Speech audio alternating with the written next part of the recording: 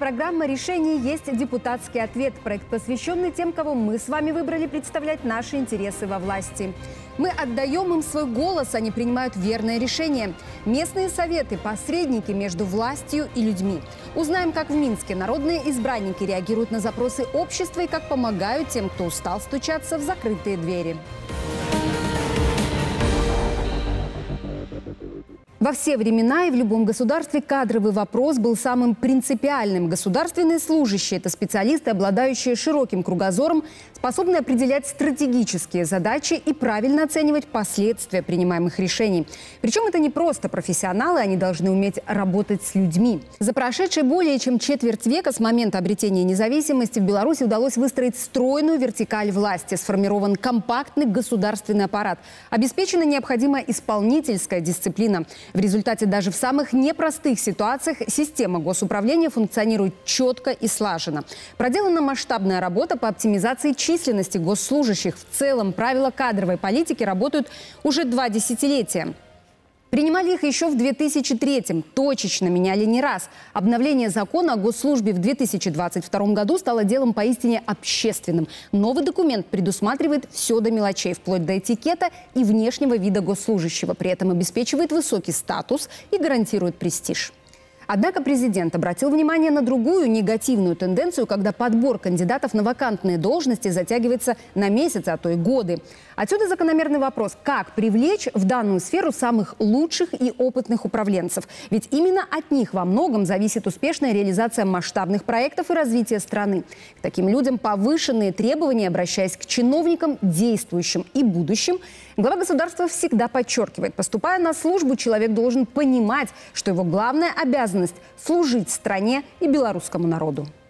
Государственная служба сродни воинской, отмечает президент. И говоря о повышении престижа госслужбы, о каких-то преференциях, прежде всего нужно рассматривать те вопросы, которые касаются ужесточения требований к работникам в органах власти. Это, повторим, честность, порядочность, ответственность, эффективное решение поставленных задач.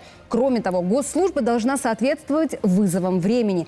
На передний план, наряду с профессиональными компетенциями управленческих кадров, выдвинули их социально-личностные характеристики. В первую очередь ставить ценностные ориентиры. И уже открыто говорится о таких компетенциях, как управленец-патриот, управленец-государственник, управленец-идеолог – Сегодня, как никогда, важно взрастить достойную смену. Кузница управленческих кадров Академии управления при президенте Республики Беларусь давно завоевала имидж ведущего учреждения образования страны по подготовке руководителей всех уровней. Но и этого мало, поэтому чуть более года назад в Академии стартовал проект «Школа управления», программа дополнительного образования детей и молодежи. Аналогов такому проекту в нашей стране еще не было.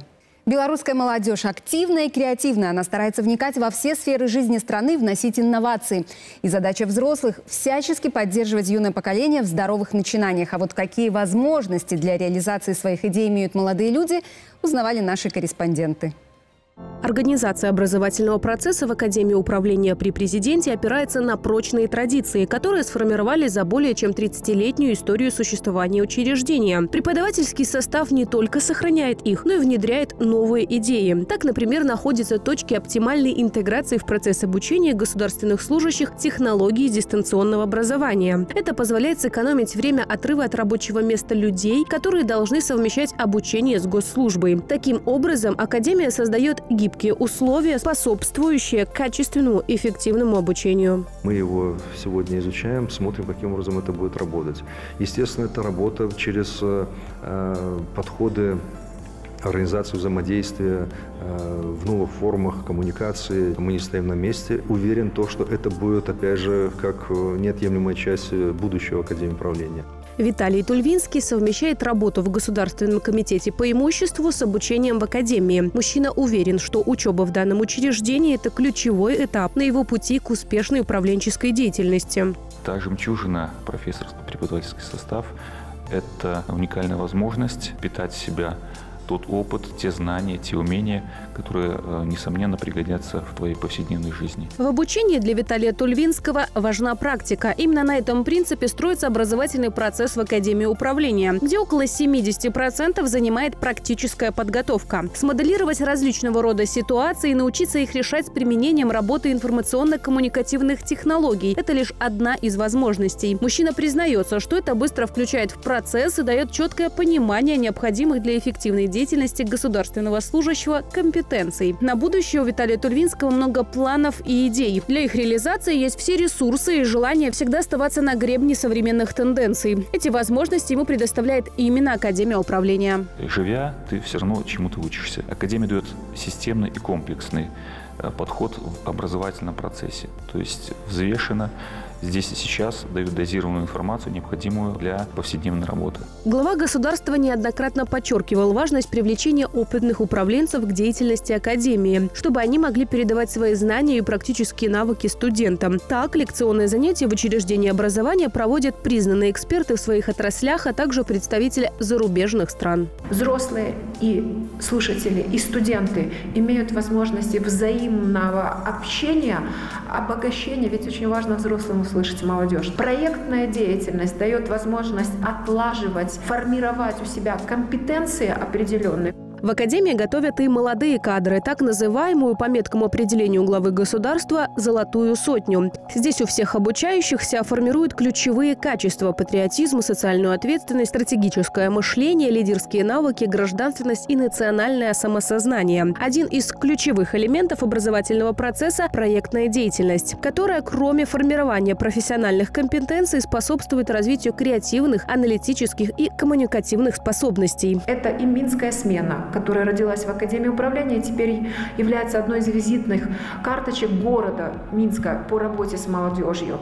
Это и наше дебат-движение, это и наша Олимпиада по избирательному процессу. Информационно-просветительский марафон «Выбирай Бай», стартовавший в декабре 2023 года, одна из таких инициатив. Его главная цель – подготовка экспертов и лекторов молодежного общественного мнения, готовых доступно объяснить молодой аудитории особенности избирательного строительных компаний, инновации и международный опыт выборов. Формат «Равный обучает равного» способствует не только просвещению слушателей, но и развитию компетенций самих молодых лекторов. Проекту уже, ну, скажем, чуть меньше года, и мы видим, насколько к нему интерес возрастает. Достаточно сказать, что э, Ребята работают не только э, в городе Минске, но и уже э, на всей территории страны. Уверен, что предстоящую электоральную кампанию, он будет востребован. Будущий экономист Ангелина Слюсарь с 10 класса мечтала поступить в Академию управления. Сегодня она активно учится и ведет насыщенную студенческую жизнь, участвуя в конкурсах на областном и республиканском уровнях. Один из последних проектов – иммерсивное представление «Калибкам не могли говорить», с которым команда студентов представляет Академию на площадке «Минская смена-2024». В основе постановки лежат реальные истории белорусских подпольщиков, партизан и военных, что придает ей особую значимость значимость и глубину.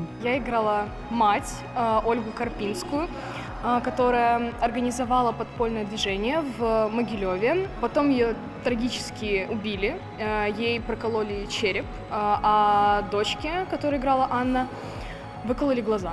У них очень тяжелая история. Очень хотелось донести ребятам именно эмоциональную составляющую войны, не какие-то исторические сухие факты, не статистику, не цифры, а, а именно эмоции. Идея полностью принадлежит студентам. С форматом помогла определиться куратор, которая пригласила на библейскую постановку в иммерсивном театре. Над проектом ребята трудились более полугода, а реквизиты привозили из разных уголков страны, а некоторые элементы создавали самостоятельно. Основная цель – донести до современного поколения через эмоциональное погружение важные исторические факты и героические подвиги нашего народа. Такой подход особенно важен для молодежи, для которой такие отдаленные периоды героизма героического прошлого белорусского народа не всегда носит личностное значение. Несмотря на то, что я не знаю родственников, которые участвовали в Великой Отечественной войне, в моей семье нету героических подвигов. В этот проект была вложена вся моя душа. Все, что у меня было, я вложила в него, потому что это такое детище. Для каждого жителя Беларуси Великая Отечественная война – это очень важное время.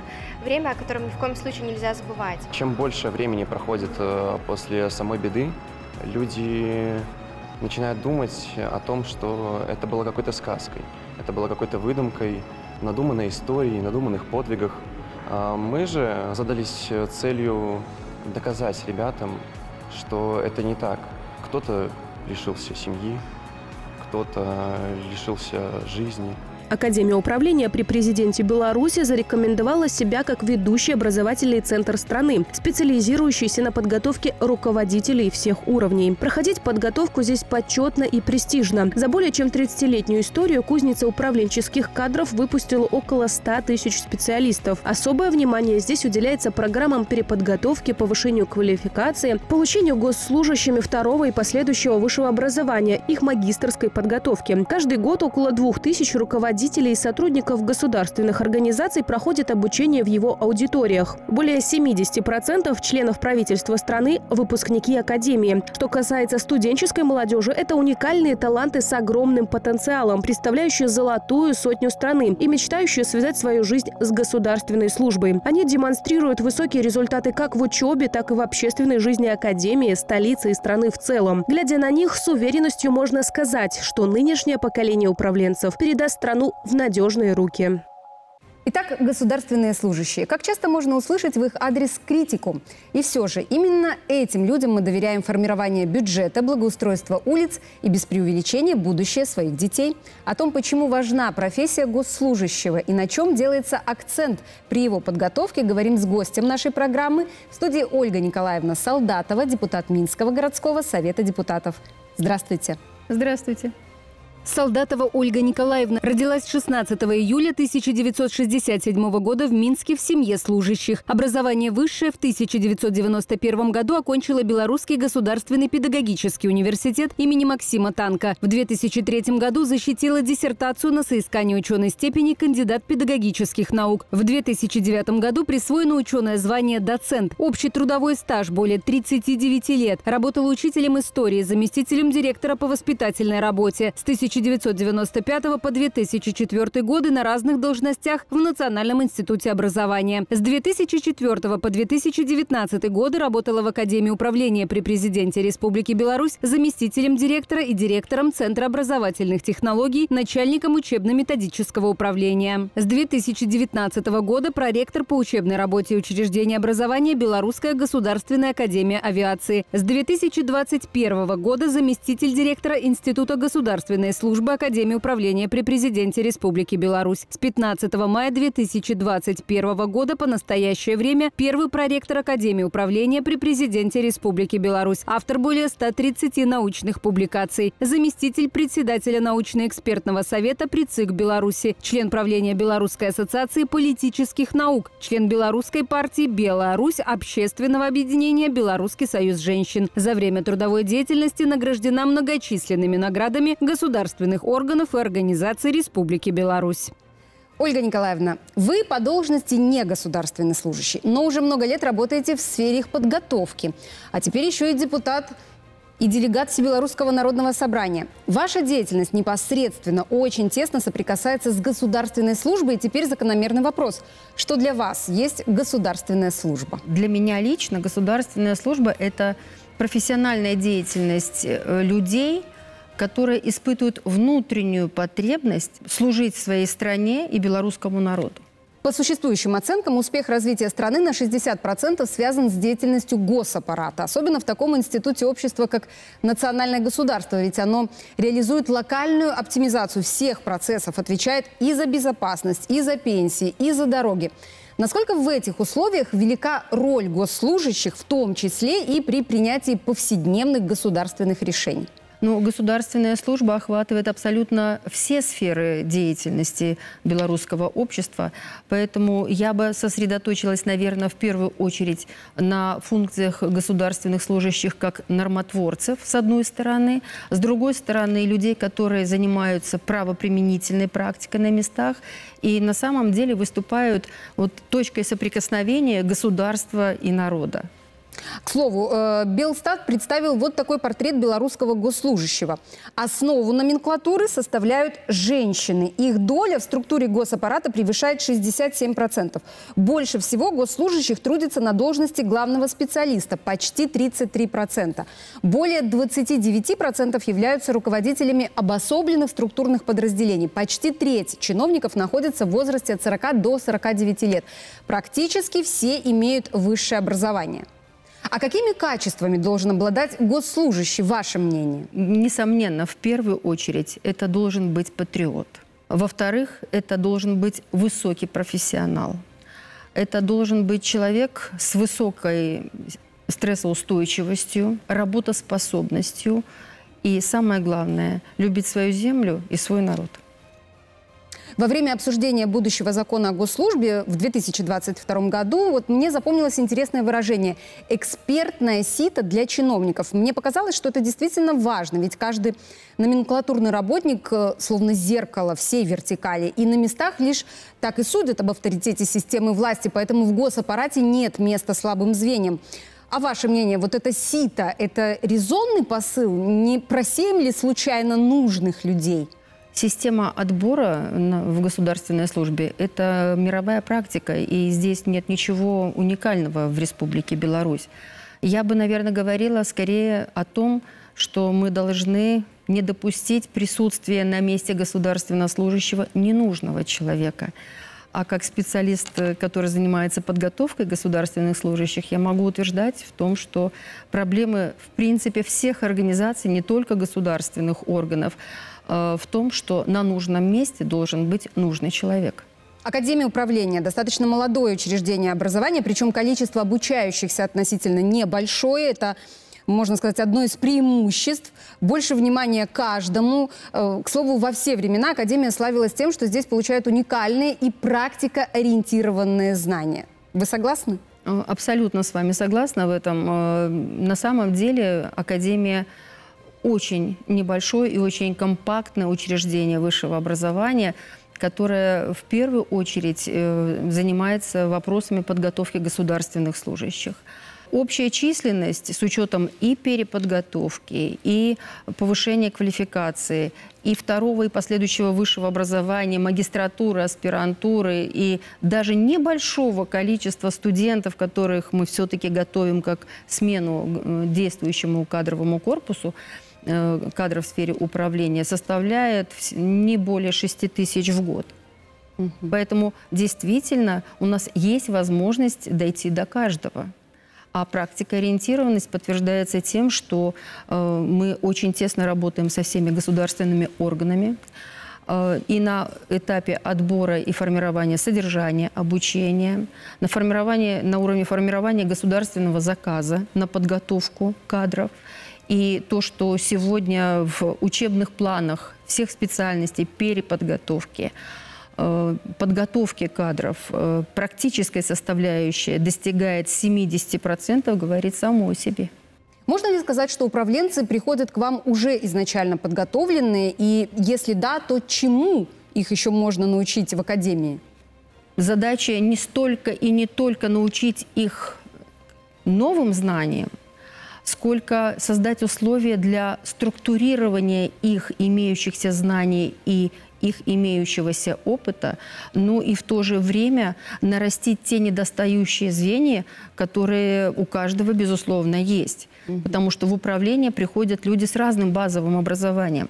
И медицинским, и педагогическим, и экономическим. А управление – это все-таки серьезная наука.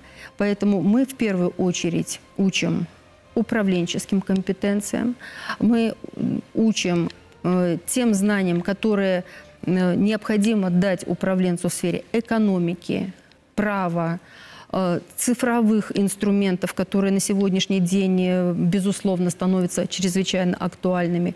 Поэтому нам есть чем заниматься. Мне кажется, еще психологи хорошие управленцы. Знаете, на самом деле вы абсолютно правы. Э, потребность в психологической подготовке, наверное, с возрастанием интенсивности и напряженности управленческого труда, она стала значительно более востребованной. Э, руководители хотят э, формировать эти компетенции, и мы даем такую возможность. Это решение есть депутатский ответ. Продолжаем разговор с гостей. В нашей студии Ольга Николаевна Солдатова, депутат Минского городского совета депутатов.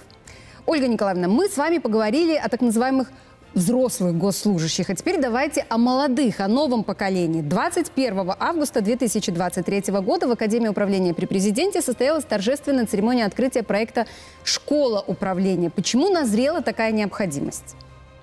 Реализация этого проекта – это ответ на э, задачу, которую поставил в свое время глава государства о совершенствовании механизмов отбора лиц, э, которые должны получать образование в Академии управления на уровне первой ступени высшего образования, так называемая «золотая сотня» по его меткому выражению. Э, это не только проект э, школы управления, это целый комплекс мероприятий, но поскольку мы говорим о школе управления, то я сосредоточусь на ней. Э, замечательный проект, э, который был поддержан и администрацией президента, и Министерством образования Республики Беларусь. Мы э, ежегодно набираем 30 ребят со всех уголков нашей страны на конкурсной основе целый год.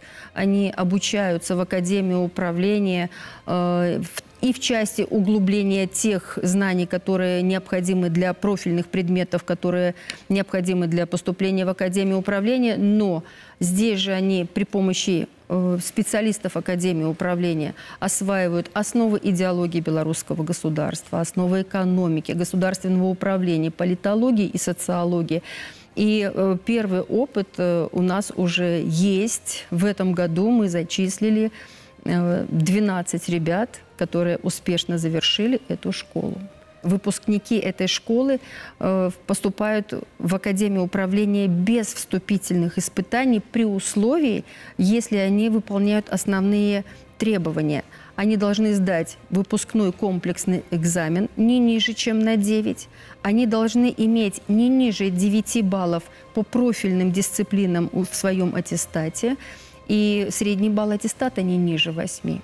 И из 30 ребят, которые в прошлом году поступали в Академию управления, только 17 э, ребят выдержали эти требования. Те ребята, которые поступили в Академию управления, завершив обучение в школе управления, они все патриоты. Они все активные, с очень активной выраженной гражданской позицией.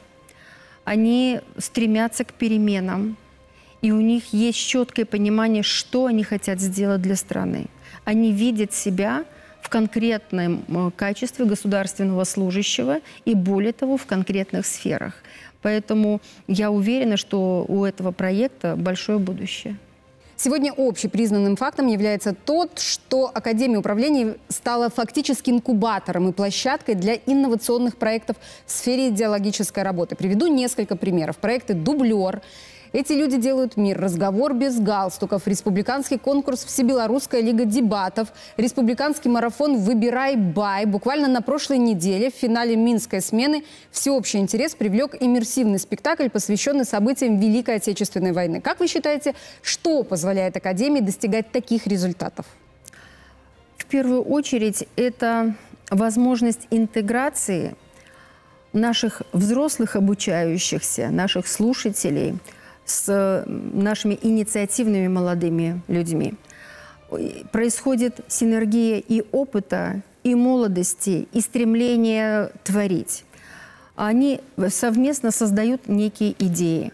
Вот, например, проект «Дублер», который э, хорошо уже себя зарекомендовал в городе Минске, он именно таким образом и возник. Кроме проекта «Дублер», э, я бы еще отдельно отметила работу клуба «Выбор», который действует э, на базе Центра по работе с населением и избирательному процессу, который э, создан э, при поддержке и по инициативе Центральной избирательной комиссии и администрации президента Республики Беларусь. Это вид работ, который невозможно реализовать студентам без поддержки, безусловно, старших товарищей. И здесь опыт и Э, видение организации э, участия молодежи в электоральном процессе, э, в организации политического просвещения, оно, безусловно, не может быть недооценено. Поэтому э, те проекты, которые реализуются на этой площадке, а это и всебелорусский марафон «Выбираю БИОАЙ», который уже уверенно шагает с декабря прошлого года по высшим учебным заведениям э, Республики Беларусь и реализуется на основе принципа «равный обучает равного», он дает уже свои результаты. Я уверена, что ребята внесли свой вклад и в результаты выборов 2024 года и абсолютно уверена в том, что они еще свое слово скажут на выборах 2025 года. И последний вопрос. Каким вы видите государственного служащего Беларуси в будущем? Патриот.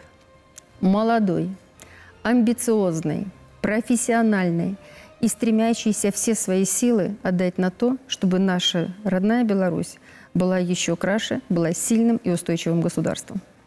Ольга Николаевна, я благодарю вас за увлекательную беседу. Я думаю, нашим телезрителям после нашей программы станет немножко понятнее о сути и работе государственных служащих. Ну и по традиции нашей программы я желаю вам побольше исполненных наказов. Спасибо.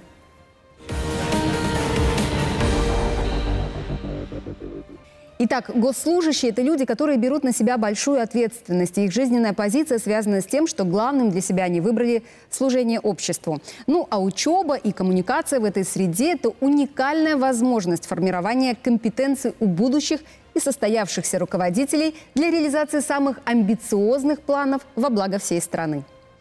Это был проект решения «Есть депутатский ответ». Каждую неделю эта студия будет превращаться в приемную депутата, куда может обратиться каждый из вас со своей проблемой или предложением по улучшению жизни в общем дворе, в трудовом коллективе и в нашем городе.